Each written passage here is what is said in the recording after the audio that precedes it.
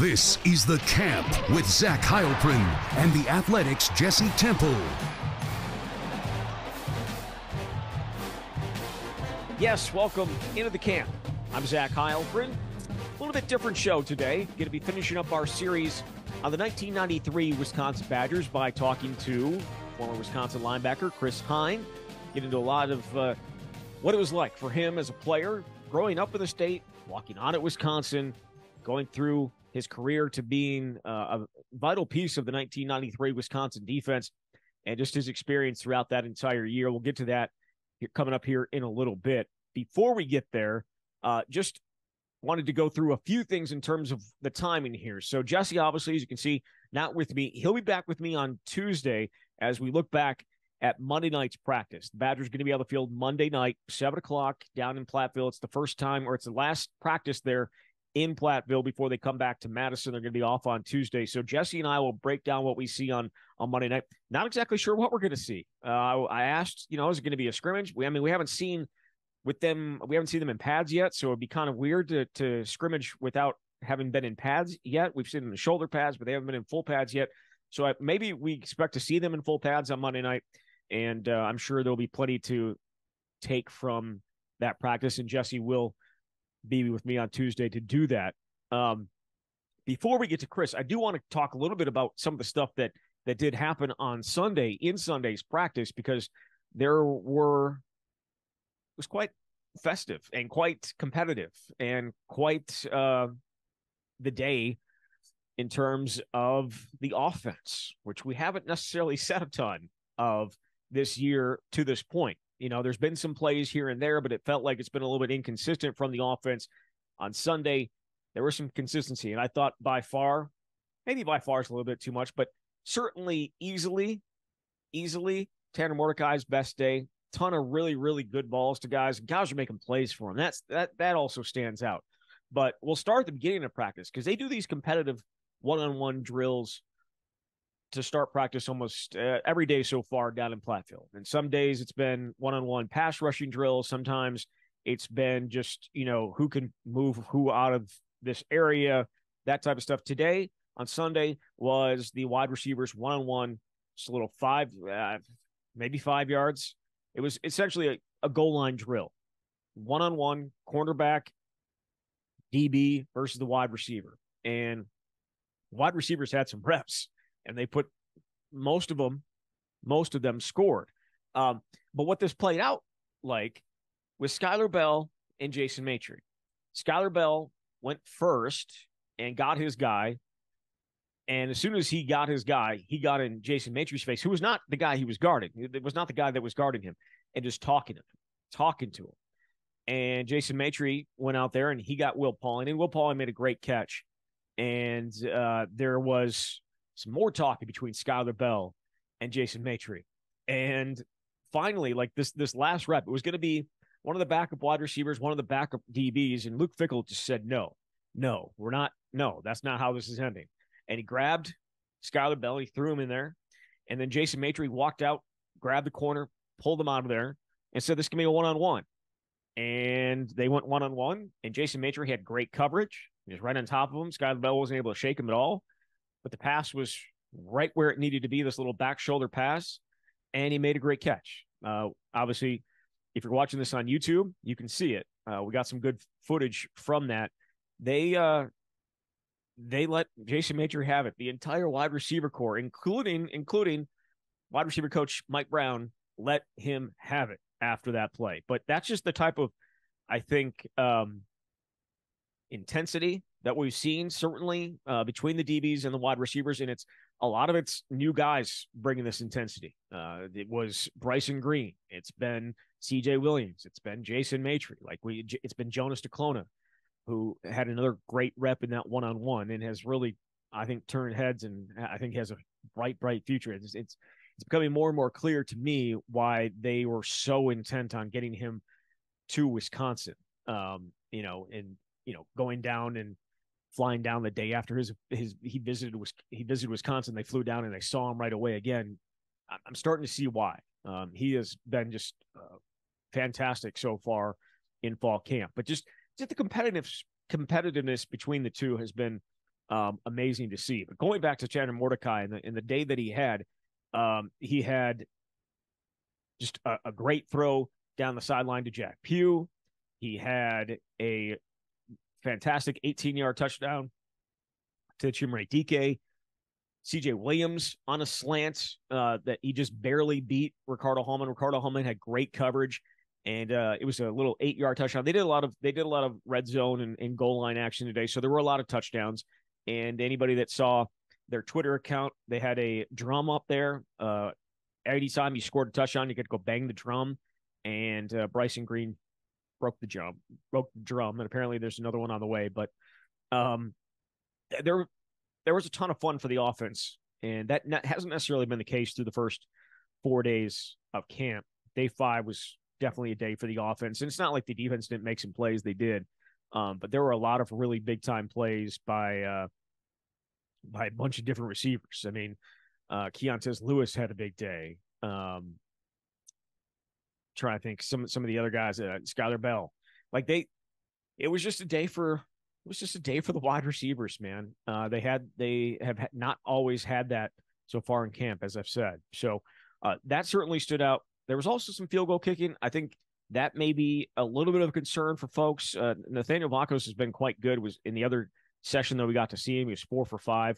Uh, today he went, uh, I believe, two for four. Missed from 34. He missed from 38. He hit from 29, and he hit from 31.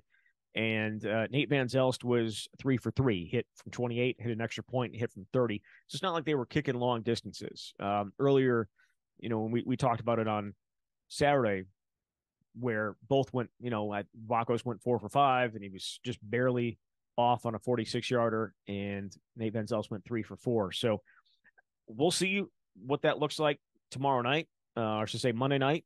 And then when they get back to Camp Randall and, and whether there is a competition again, I don't I don't think there is, but if there wasn't there was room for something to open up, maybe Sunday was it was it. So a uh, couple other notes. Good news: Tommy McIntosh also returned to action. Uh, Chris Brooks Jr. still working his way back after that that broken leg that he had in the spring. I mean, he was off to a flying start. He was as impressive as any wide receiver in the spring before his injury. So uh, we'll see what I mean.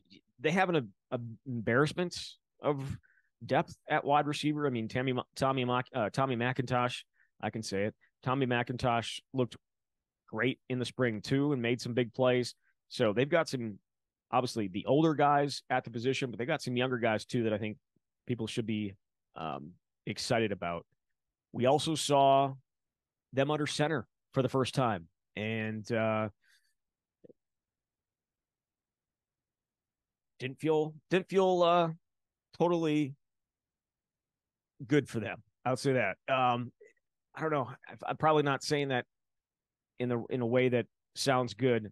It didn't feel like natural. It didn't feel natural for them, and that's just crazy to say considering the last 30 years. But when you think about it, Braden Locke never was under center in college, in high school. Tanner Mordecai never under center in high school or college. So it's it is it probably is a little bit unnatural. And the first one, you know, Locke, I think threw the ball to the back of the end zone and it was incomplete. Tanner Mordecai though later threw a touchdown uh, after coming off the center. His play action fake probably leaves a little bit to be desired, but again, what do you expect when you haven't been under center pretty much uh, your entire life? And I'm sure that's been the case for Tanner Mordecai. So, um, one other injury note: Chez Mellusi held out of practice after the big shot that he took on Saturday from Kamoi Latu. It was just out of abundance of caution. Uh, he was out there. We saw him. Uh, he went through some of the individual stuff, but didn't do any any of the team drills, and there was no contact for him. So um, we'll see if uh, that's going to be an extended absence or they're just you know really being really really cautious with him. Uh, it allowed Jackson Acker and Cade Yacamelli to get some more reps because they kind of limited Braylon Allen as well in these team periods, and uh, both both look good. Both look good. Both of them have stayed healthy, and I think uh, that's certainly a, a huge thing for for both because um, they're fighting for a third spot that is wide open. And we know the injury, injury history with Chez Mellusi. We know the injury history with Braylon Allen. You would think at some point here, maybe those guys will need be uh, need to be counted on. But um, I know everybody at home's probably like, don't say that, knock on wood, but um, you're gonna. I think they're gonna need a third at some point. So um, good to see those two guys out there. All right, that is just a little quick look into Sunday's practice. We will be back, as I said, on Tuesday to recap uh, a little bit deeper recap of Sunday's practice, and then obviously what we see on Monday night, the final practice in Platteville before they head back to campus. All right, let's get to the interview with Chris Hein, the former Wisconsin linebacker, talking about the 1993 Badgers. This is going to serve as the final piece of our series. If you missed the first parts, uh, we have three parts. It was all from different perspectives. We got the perspective from a coach, Barry Alvarez. We got a perspective from the media with Jay Wilson, the former uh, news director or the uh, sports director Channel 27 and Channel 3. We got a football administration aspect of it with Steve Malchow, who is the sports information director. And today we will do the perspective of the player, Chris Hein. Here he is. And we do bring in former Wisconsin linebacker Chris Hein. Chris, thanks for taking the time. Uh, uh, this has been a really enjoyable thing for me to do. I, I, I don't want to make you. I, am not going to make you feel old, but uh, I was 12 years old in 1993, and uh, it's like second. It's it's still vivid in my mind, and I imagine that's probably the same for you. But I want to start a few years before that. In 1990, uh, Barry Alvarez shows up I've been asking this to start every single one of these, and that is how bad were things when he first showed up? Well, um, fortunate for me, uh, you know, I came in in the fall of that year, so, um, you know, I heard a lot of stories of of the purge that took place maybe in the spring, in the spring of 1990. I was still a, a high school senior at that time, and and um, finishing up my my high school career at Plymouth. Um, so I heard a lot of stories from the guys that that were still there when uh, when I arrived in in the fall in the fall of '90. Um, you know, just knowing that coaching staff, uh, they didn't ease up. You know, in the fall of '90, uh, that's for sure. So, um, you know, what it was like when Morton was there, you know, other than as a fan, I remember going to a game my senior year against Minnesota. Um, a friend of mine from high school got some free tickets. His sister went to school there. Um, and uh, we hung out for like a quarter or two. There were about 20,000 people in the stands. And, and um, I think they ended up, we left before the game ended. We could have sat wherever we wanted. Um, they ended up winning the game. So I think that maybe was, you know, for me, uh, my impression of of Badger football firsthand at that time. Sure. I mean, I'd always grown up a fan. I love the Badgers. I, I grew up in Wisconsin, Brewers, Badgers, Packers, Bucks. I mean, I was listening to everything on 620, watching the Badgers when they're on TV. But uh, so I was a fan, but um, hadn't been to a game ever before. And uh, yeah, that was that was kind of eye opening. It was different than going to Lambeau and seeing the the Packers, which I had also that that fall. You know, it's it's funny you mentioned you growing up rooting for those teams, and I, I think that's certainly the case. But it felt like, at least for, in my childhood, and I grew up in the state as well, um, that you like the Badgers. Our family had season tickets all the way back to 1953, so we we were obviously Badger fans growing up. But it felt like you also had to have like a second team it, like in college. it was yeah. like because they just weren't very good in basketball and football. It just it wasn't any good. So you had to have somebody else to root for. Um, that's just my. This is how I was thinking in that time. I think my second team was like North Carolina, so I was a real bandwagon jumper at uh, at that point, um, specifically to basketball. But um, you know, in terms for you, you were uh, a very good high school player, but mm-hmm. you didn't get an offer from Wisconsin coming out of high school uh, out of Plymouth. You were a walk on. Um, did you have opportunities to go elsewhere? And, and what drew yeah. you to Wisconsin? Yeah, there's kind of an interesting story. I mean, you know, this is aging myself again. 1990. This is, uh, you know, the internet didn't exist for those younger, younger people out there. Cell phones weren't a thing. Um, you know, I was, I, I did have a very successful high school career. I was all state in basketball, all state in football. Um, but nobody really knew who I was. Plymouth, Wisconsin wasn't known for cranking out Division One athletes, and at that time, and and I think a lot of it was word of mouth. So uh, we didn't have Hudl, which is a great tool right now for for high school kids, and there's just so many options, and you can get yourself out there so easily. Um, so the the only real interest I had came from Grand Valley State in Michigan, which was a very successful Division two program. Um, and that only happened because a, a, local college coach here at Lakeland University, which is a very small college uh, in Howards Grove, Wisconsin, actually. Um, he knew like an assistant at Grand Valley State and said, Hey, you got to take a look at this kid. So so my dad and I drove to Grand Valley State, uh, drove to Grand Rapids in like I, I, think it was like March of two of 1990. They kind of put me through a combine there. I threw for them. I was a quarterback in high school and a safety. Uh, I remember they we were in a gym. They had me do a pro agility, like all these things. Asked me vertical. I and I told them, well, give me a basketball. I, I threw it off the backboard one hand dunked a basketball and they're like, okay, your vertical is pretty good. Um, so they offered me then after that visit, and uh, that was all I had at the time.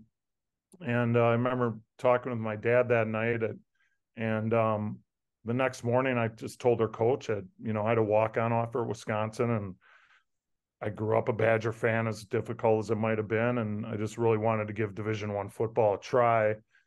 And kind of told me he thought I was making a mistake, and, and but you know, and gave me another week. He said he'd call me in a week and make sure that's what I wanted to do, and and he did, and and and I held steady to it. So that was it, though. I mean, I had a lot of interest from the the you know Whitewaters and Oshkosh and Eau Claire, but as far as far as scholarships, it was it was Grand Valley State or or walk on at Wisconsin. So you, you talk, yeah, you talk about the alley oop uh, or the uh, you know the dunks you had a nickname, wasn't yeah. it? It was was it uh was it Heiny Hops? I think uh Hops was the was the nickname. Yeah, uh Dwight Reese, who was an outside linebacker, um, who graduated, you know, 90, 92, right before the, the Rose Bowl year. He he started at my position before me. He had given me that nickname of Heiny Hops, and because of basketball, and just, you know, we we all played a lot of pickup basketball, so guys guys kind of knew who could play and who couldn't play, and yeah, that that that became my nickname, uh, Hops or or Heiny Hops. So Coach Palermo would still call me that to this day when I see him. So and a lot of the guys. Yeah. So you walk on to Wisconsin, you you work your way up, and in spring of 1993, you move into a uh, a starting role. There was a bunch of returning players elsewhere on that defense. Um, I think I read that you didn't when when you did an interview with somebody uh, in, in April of that year, you, you didn't want to be the weak link on that defense. Uh, when did you feel like you started to belong uh, with that group? Does, was there a moment within the spring or maybe to start the season that uh, all of a sudden you're like, yeah, I, I can do this? Um, I built up some confidence through the, the, the prior years. I think actually, even when I initially came to Wisconsin as a walk on, Coach Alvarez, you know, at, at that time, the the freshmen came in for three days before any of the varsity players, so we kind of had three days just to get acclimated with the coaches, learn the system and things like that. And and Coach Alvarez had called me in the like this my second day there and uh, into his office and said, hey, "You're going to be a scholarship player here someday." So he gave me confidence like day two that I that I ever stepped on campus. And then I was able to to earn a uh, I redshirted my first year, but then was able to earn a letter the next two years on special teams uh, was on all four special teams punt, punt return, kick, kick return.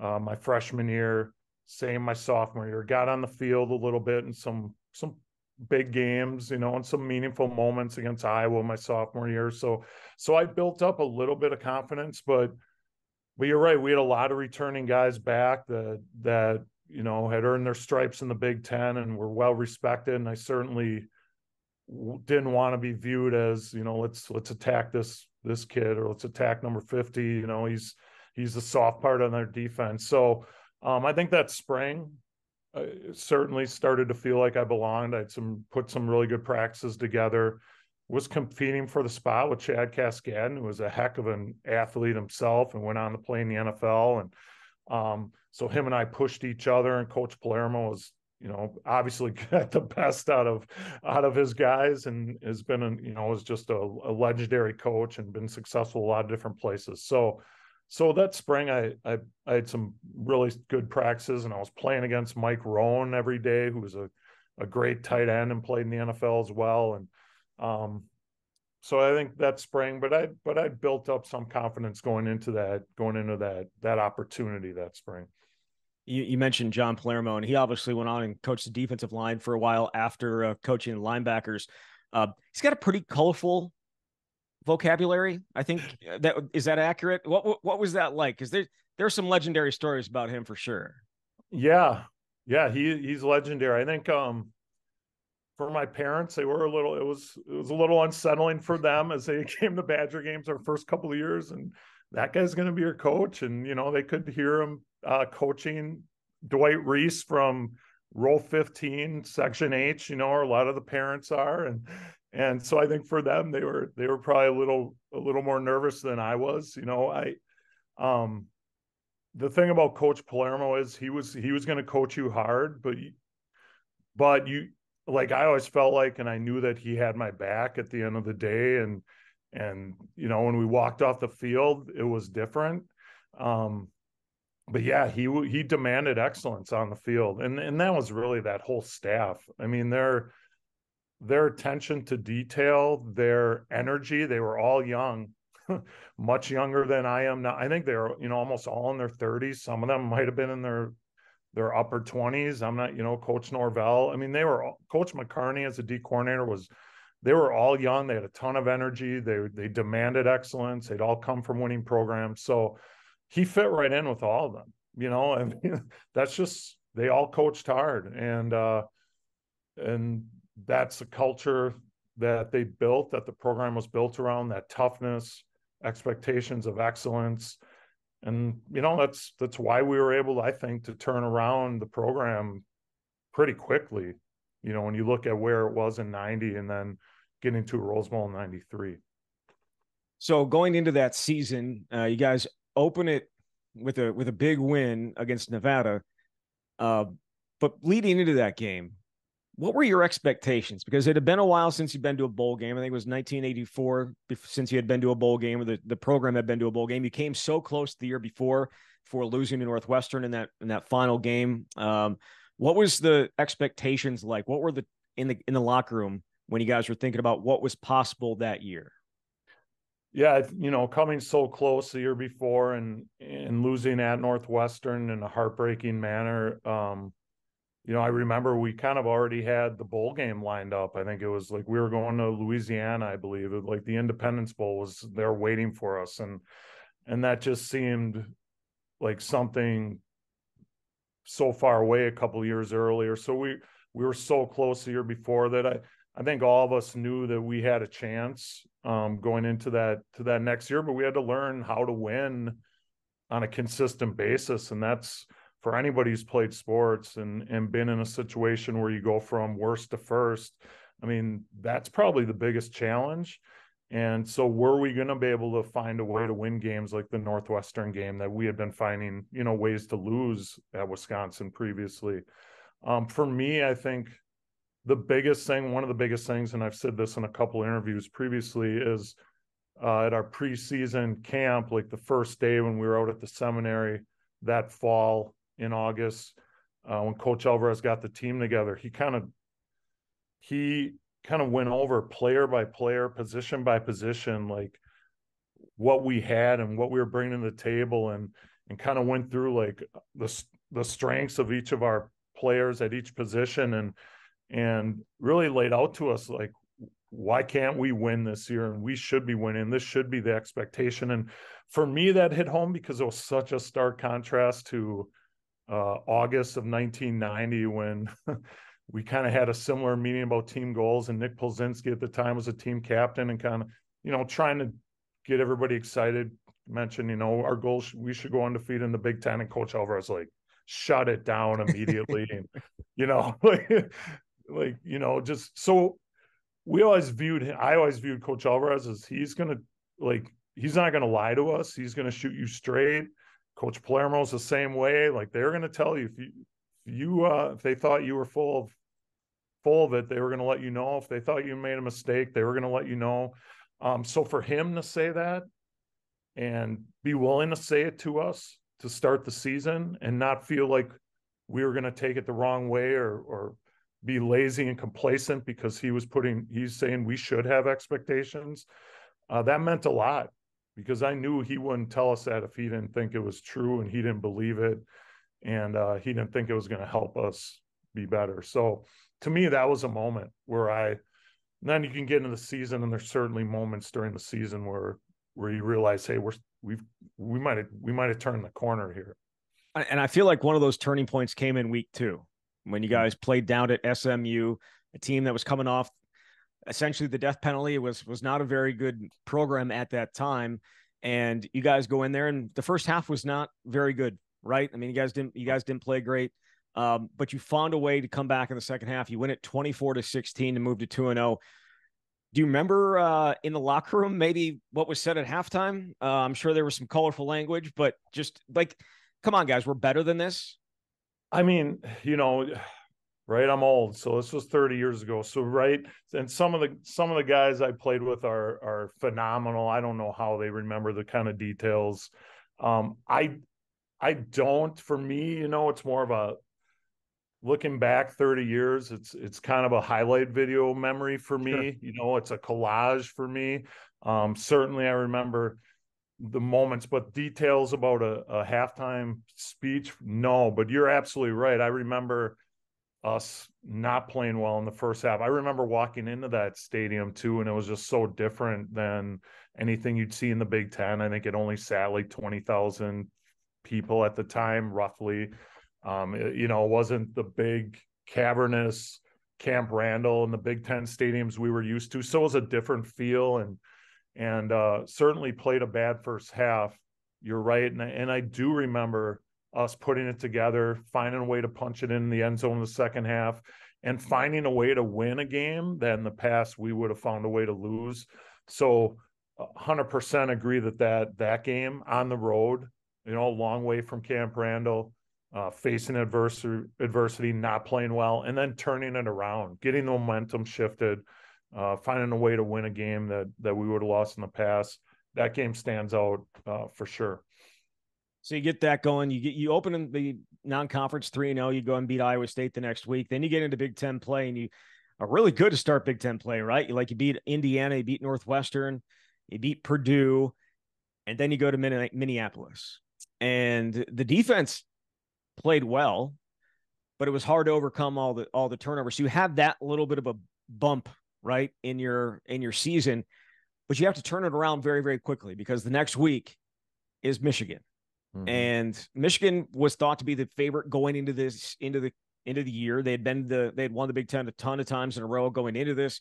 And so they get the uh, they come to camp randall and it's uh, a remarkable game for the defense. I mean just an insane game for the defense. And you were part of the play that essentially clinched the game a fourth down stop um, just barely shy of the sticks there. Uh, can you take me through that? Can you take? I know you said memories. You know, well, it's, hard, that, it's hard, but I'm sure that well, one sticks out.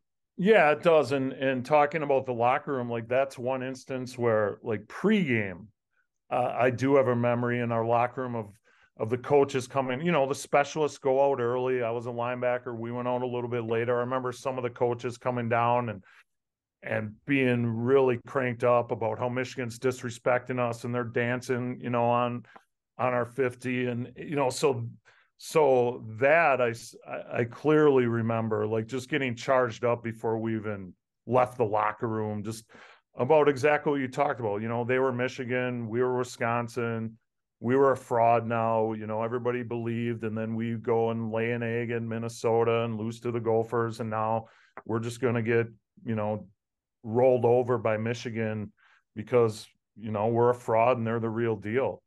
Um, so yeah, I mean that I remember, and the coaches just coming with a lot of energy before we even walked up for pregame. Um, and then the, just the whole atmosphere of the game was was amazing and and unbelievable, and the energy in Camp Randall in those days uh, you know when you're turning when you're turning around and fans like myself growing up in Wisconsin, yourself, like to see the Badgers playing so well and and the fans were so hungry and thirsty for that that that Camp Randall was just it was insane in those days. Uh, so the atmosphere around it was was phenomenal. Um, yeah, and then it comes down to like it's this is a nail biter three three point game, and we've got to try to hold on and and um, I was fortunate enough, got actually a little earlier in that drive, had, had got a pressure on the quarterback, nearly a sack, but a great call and a great scheme by our coaches, Coach Cosgrove and the whole staff, Coach McCarney to get to get me open on a blitz. So I'd I'd had pretty important pressure earlier in that drive, and then we got them in a fourth and eight, and and honestly, was I just fell back on my coaching, you know, to be honest, and that's where details and that the coaches had coach and just doing your job was just something you always heard there. And I fell back on that, you know, and I think that's something as an athlete, you can get caught up in the moment and you try to do something great and you end up making a huge mistake because you're trying trying to be a hero.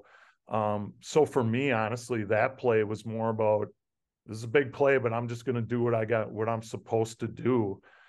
And sometimes when you do what you're supposed to do and you're where you're supposed to be, big things fall in your lap. And honestly, I mean that that particular play, I wish I could say I made a great break and a great read, and I studied that play for three hours, you know, that week.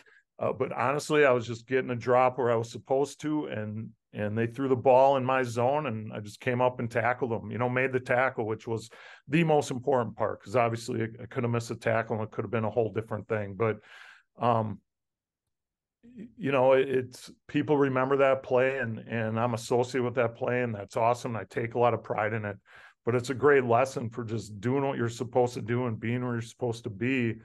Big things, great opportunities can happen if you, you know, if you just do those things. So, yeah, and then we sell, and then from there was you know start the celebration, and and uh, it was just a phenomenal feeling having grown up a Wisconsin kid, and and the aura of Michigan and them disrespecting us, and that was kind of the best part for me of that whole season was.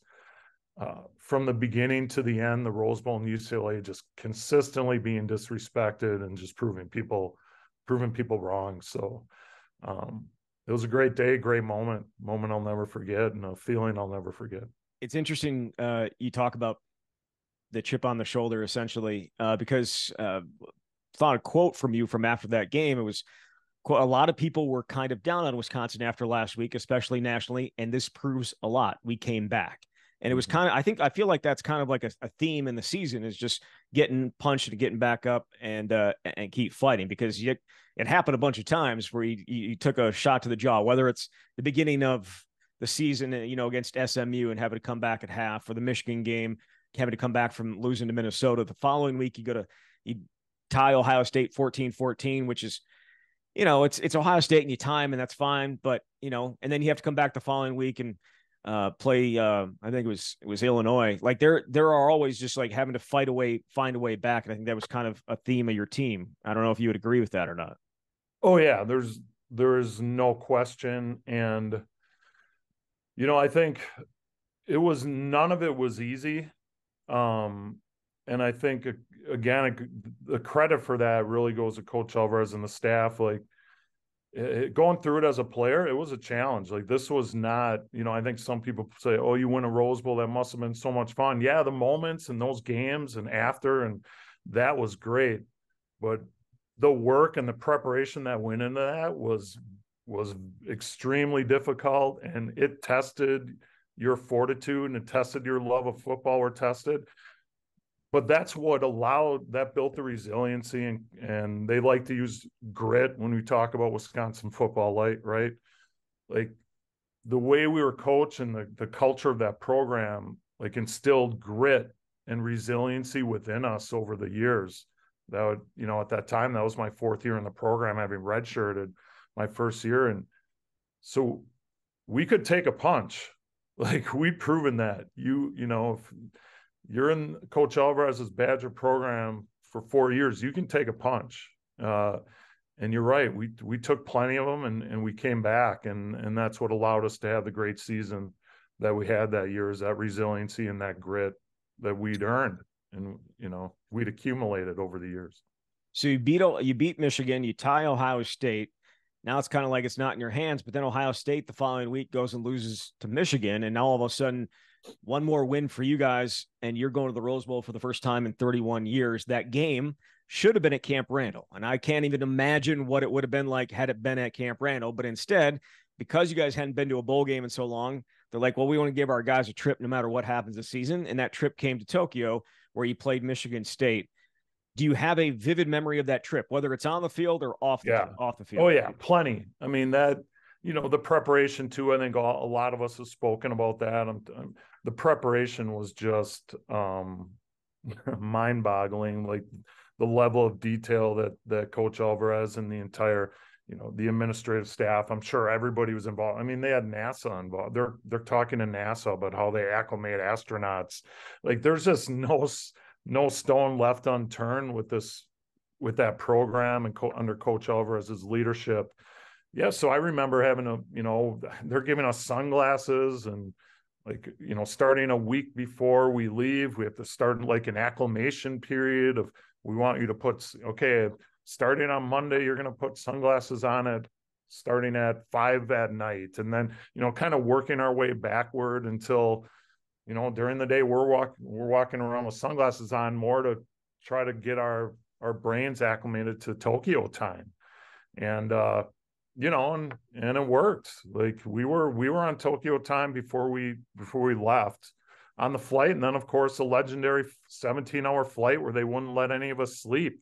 you know, like there's literally walking around and we're on a double decker airplane with Michigan State on the bottom and we're on the top deck and the coaches and staff walking around making sure nobody's sleeping in a 17 hour flight. So, um, yeah, I've plenty of recollections of that. The the game, you know, the preparation up to the game. Um, the game itself and the atmosphere at the game. I mean, they kind of split the stadium in half red and white pom poms for one half of the stadium, green and white for the other. It was just a real kind of uh, odd uh, atmosphere, much different than Camp Randall obviously would have been. But um, from a in a weird way, pro- there were there were no distractions there. So maybe in a weird way that that may have been a good scenario. I mean, Michigan State had to go through it all as well, and they didn't have as much to play for. So, no. um, you know, it, in a strange way, it may have worked to our advantage, but only because our our coaches uh, were just so prepared and always thought of everything, and and the entire staff. It's not just the coaches, the training staff, the administrative staff, and um, but yeah, and then to come up with that win and uh, to celebrate it in Tokyo was was unique as well, and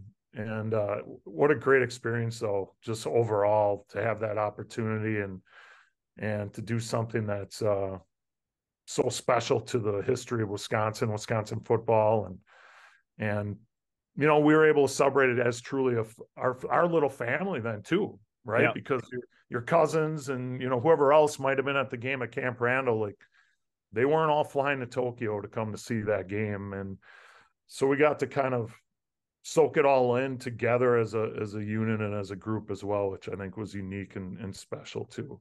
Yeah, for sure. It, for those that are having problems visualizing what it was like in Madison, just think about the 2014 and 2015 Final Fours where State Street gets packed. That's what it was like that night. Uh, that uh, Michigan State. There's there's there's video of it out there of the celebration that happened in uh, Madison, which I'm sure you would have loved to have been a part of, but uh, was still obviously pretty special to do it in Tokyo. So you guys punch your ticket to the Rose Bowl. You get out to the Rose Bowl. I, I the the entire week I'm sure was was a lot of fun. Uh, but I want to talk about the game itself because it was a fantastic defensive performance by you guys. You turn them over six times. JJ Stokes, I think, just caught another pass though, uh, just just right. now. I mean, he was he was remarkable. Um, but that game going into it, there was a ton of disrespect from UCLA's side. Uh, mm-hmm. I mean, I, I remember th- them like running through the uh, the warm up lines that you guys were that you guys were doing and running just completely disrespecting who you guys were as a team and and who you guys were as a program. Like these guys are going to come in here and do this? Absolutely not. And uh, I think maybe they thought they were trying to intimidate you guys, and it just wasn't going to happen. Yeah, and it it it even started be outside of the players. Like, you know, we're there a week early, and and early in the week we were a lot. We had some free time to to go around Pasadena and stuff, and I remember just random. You know, they may have been LA alumni or UCLA alumni. They may have been students. I don't, or they were just residents of Los Angeles. Like people just coming up to us when they knew we were Badger football players and be like, you guys are just a bunch of farmers. You're to get, you know, you're to get your hat handed to you. Like you guys can't compete. You know, you're a bunch of tractor driving, plot, slow plotting. You know, we're, we're just, we're to open up the racetrack on you guys. Literally, like these aren't even players. We're I, still remember that, like just being disrespected by by people in the community there. Um, and that just served as motivation. And you know, we we knew we were underdogs going in, and um, nationally not given a lot of a lot of chance to to do well out there. I mean, it was their home turf, and you know, it's a Pac-10 at that time, and West Coast football and all that. So, yeah, it, that was probably though I would have had it no other way to be honest. I don't know if that year I would have known how to play when when you know if people would have you know, we would have come in like a 7 14 point favorite or something like that. So it just kind of fit, fit the script for the whole season and and for what we would had been doing and uh yeah the game was was no different. I mean there was there was a lot of talk um, you know, with certainly some of the players on the field, that there's a lot, lot more chatter than we would see in a typical typical game. And yeah, JJ Stokes, he caught a lot of touch, he caught a lot of balls, but it wasn't in the end zone a whole lot. And that was kind of our, that was kind of our our game plan going in, and and in a lot of ways, that's the kind of defense we were that year. Like we weren't filled with high profile pass rushers that you know they're going to be number one draft pick 22 sacks on the season or or lockdown corner like we played Troy Vincent who I had the good fortune of playing with uh, when I was younger and just watching what a truly phenomenal NFL all pro looks like on a day in and day basis just how freakish of an athlete. So that wasn't that wasn't really us. That wasn't our identity defensively. And we were a unit. We were cohesive. We like we did our job like i talked about earlier. Like it was a count on me defense right? Like we knew we knew the guy next to us was going to do what what they were supposed to do and i was going to do my job.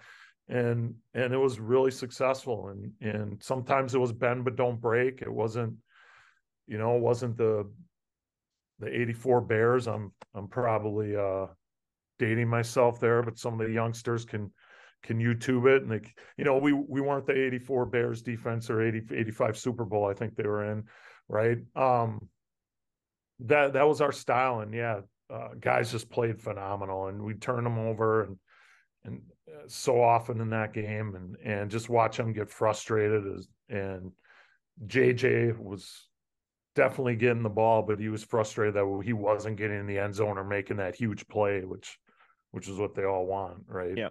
Yeah, highlight, for sure. The highlight play, the highlight video play. You, you mentioned bend but don't break, and I think the last drive of the game is probably great, a great hmm. uh, illustration of that. They were able, they got the ball, they moved it down, they got inside the thirty, and then it was it was stopped. But you were you were on the field for much of that, and I remember you weren't like dropping, you were rushing every time, which had to do have to have just been exhausting. Yeah, and for me, I mean, my position was unique. I mean, it was kind of a hybrid outside linebacker position. I didn't blitz a whole lot. It wasn't, uh, you know, certainly wasn't Nick Herbig who, you know, just graduated that kind of position. I mean, a lot of times I was, I was dropping or I was even off the line of scrimmage, but we had gone to nickel on that last drive and, and I was, got moved to almost like a DM position in the nickel, which we hadn't done a lot of that year. Yeah. And then you know things were just happening so fast and we weren't going to call timeouts because we obviously didn't want the clock to stop and and i don't you know, they eventually ran out of timeouts. So it was just, yeah, rush the passer, play after play, you know, rush back. And so I was, I was just exhausted. I, I had, you know, I hadn't been used to rushing the passer that often. Certainly had blitz during the year, but but not a whole lot. And um, it was just a, a, a great relief when when Cook decided to pull the ball down, run, and uh, we were able to tackle him and let that clock run out. It was it was phenomenal. Did you know it was done as soon as he ran it? Or you like check- tackled? You know, earlier in that game, Bevell had run for a, what was yeah. it about a twenty-one yard touchdown? It 17? was. Yep. I weird things were happening that day. if, if, uh, that was not on my bingo card for Bevell to rush for a touchdown in that game, so I, you know, when he took off running, I felt pretty good about it, pursuing him after blitzing, but you know, until he was on the ground, um, you just didn't know. And you the last thing you want to do is let up and, and until you hear the whistle. And what a phenomenal feeling once once once we knew it was over. So you guys get him on the ground, the clock goes to zeros, and you win the Rose Bowl, which for a kid that grew up in Wisconsin had to have been like the just the most unsurreal or a surreal moment uh, for you. Like to go from a kid watching a team that was horrible to the mm-hmm. top of the world yeah, it was amazing. Like it's uh and all the work we put into it and to know that it was all worth it. And yeah, as a Wisconsin kid who who lived and died with all Wisconsin sports and and my parents and my dad and and my community, like that's one of the coolest parts about it being a Wisconsin kid, I think. Um for me, just how your community just got behind the Badgers and and seeing how much excitement there was in the community was was amazing. And that it took so much like that was one of the best parts about it too. Like just seeing the whole state rally behind something and feel good about something. Cause you know, at that time the Packers hadn't been very successful. The Bucks were not very good either. That there just wasn't wasn't a whole lot going on in in the state. So um we were the best thing going at that time and and just the amount of pride and excitement around around Wisconsin football and the joy and and the smiles and and everything that went with that was was so rewarding and still to this day you know is is one of the best memories and parts of parts of it. Yeah it's pretty remarkable. That team was remarkable and i think it still holds a pretty special place in Wisconsin football history and probably always will. Uh, it certainly will as long as I'm alive, because uh, uh, it, it, was remarkable just that entire season and how everything came together, and um, just a really fun season to to watch, and I'm sure great to play in as well. So, Chris, I really appreciate your time, and uh, thank you again. All right, thank you. All right, there he was, Chris Hein. Really appreciate his time.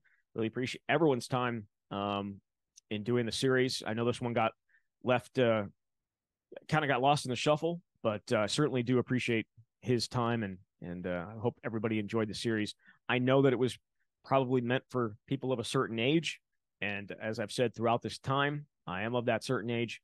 And uh, if you guys didn't enjoy it, that's okay because I had a great time doing it. So um, either way, that's going to do it for the show today. Me and Jess will be back on Tuesday to recap what we've seen uh, in fall camp on on Monday night. So until then, you've been listening to the camp.